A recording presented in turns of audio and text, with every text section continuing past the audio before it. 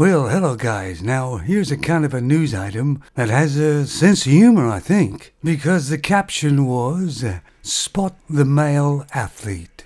Okay, uh, one on the left. It, yes, it looks a little bit feminine, I suppose, so maybe not that one. And the one in the middle there, no, no, it can't be that one because they've got long hair.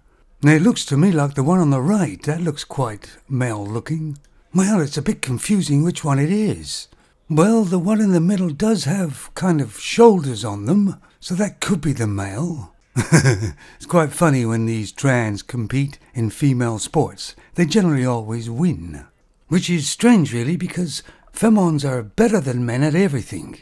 Well, unless you apply facts and reality, that is.